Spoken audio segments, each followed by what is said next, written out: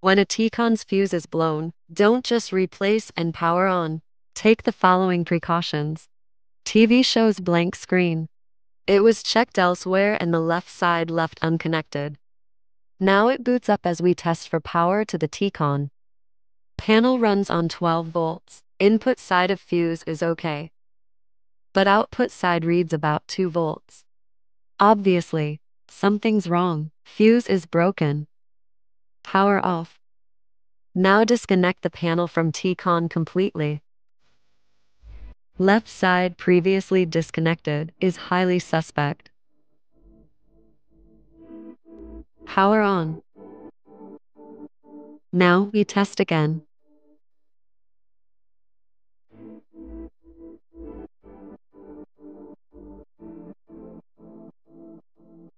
Fuse output side reads about the same still. Power off.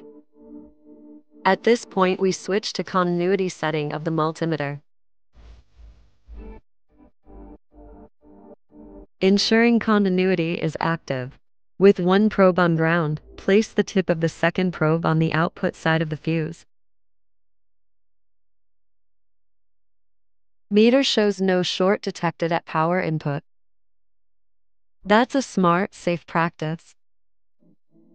Checking again to be sure. Now we can safely fix the fuse using appropriately thin wire. Applying fresh solder to the fuse.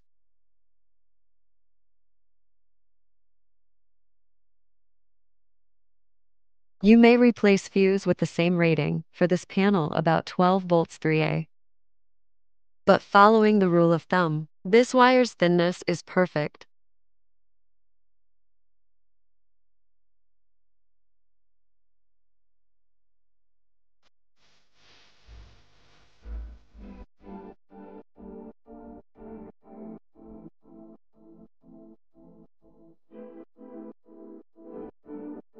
Nicely done.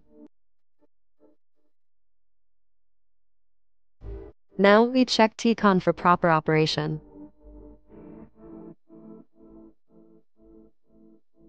Power on. Fuse output now reads 12 volts. Vital signs now okay.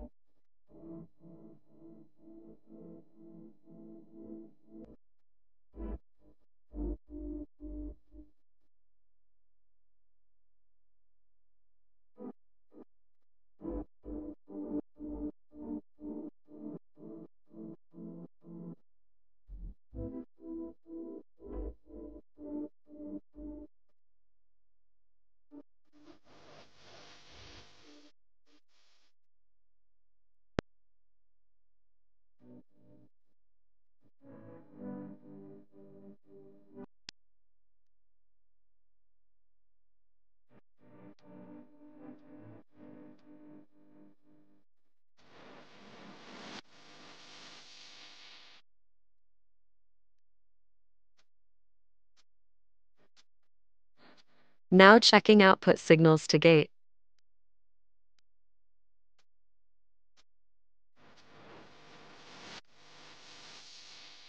Gate signals perfect. Power off. Next we connect the right side first and power on. Power on. Booting up.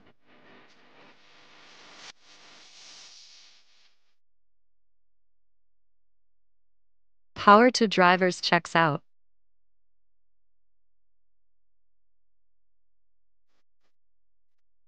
Three point three volts active.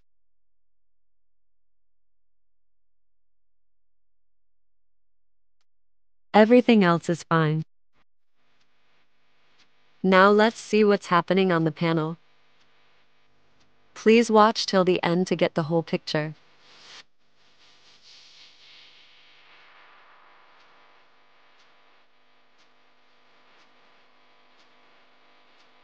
So, right side is okay.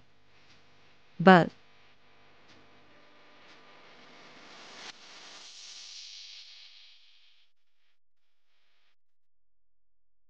upon revealing the source PCB, We see why the left side was left unconnected at the start.